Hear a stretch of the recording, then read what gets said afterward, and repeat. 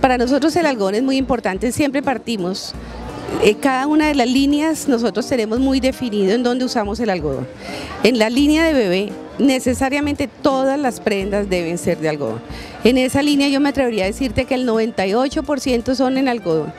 Y normalmente los colores los escogemos de colores que estén dentro de las paletas de colores de la moda, pero siempre los enfocamos y los hacemos en algodón 100%.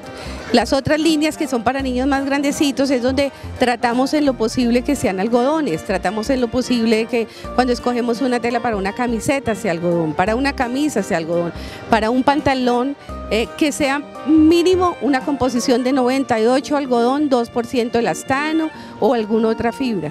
Pero normalmente todo lo hacemos en algodón y tenemos diferentes y muchísimas tipos de prendas. Tenemos pantalones, faldas, shorts. El algodón es para nosotros nuestra base fundamental en la existencia de la empresa.